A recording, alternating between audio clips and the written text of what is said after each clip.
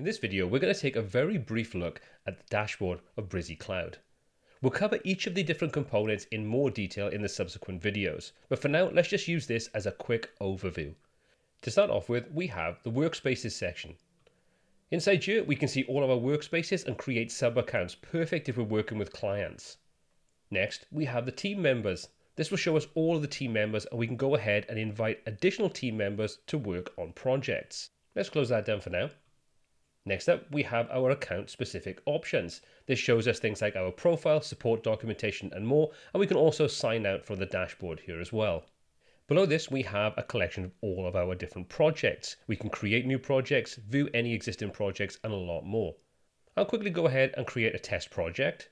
And once we've created a test project, we now have more options available.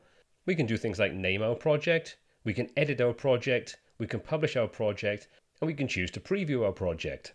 And if we come to the three dots in the top corner, we can choose to publish our website, we can view any leads our website has generated, or we could choose to delete this project from our dashboard.